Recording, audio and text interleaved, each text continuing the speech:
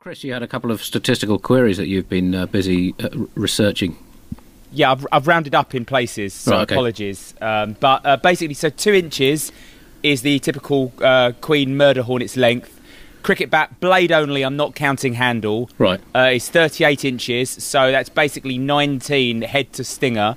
Yeah. But the blade is 38 inches by 4.25. Yeah. Um, now, I, I, went for an open wingspan because that looks more dynamic. Right. So 7.6 centimetres, yeah. which is about three inches. Yeah. So if you tore some in half as, as close as you could, right. you could get 27 across the blade of a bat right. with their beautiful fully flexed wings. Now, the depth of the bat yep. is a maximum of 2.6 inches. So if you yeah. went for the full depth of the bat across, right. you could get the hornets too deep throughout that whole bat. Right. So uncrushed, but with many cut in half, yeah. you can fit 54. So that's the volume of a bat holds 54 of the murder hornets. But with wings spread? But with wings spread, right. yeah, because I thought that looked better. But what and, you about know, you've got to allow a bit of a flourish.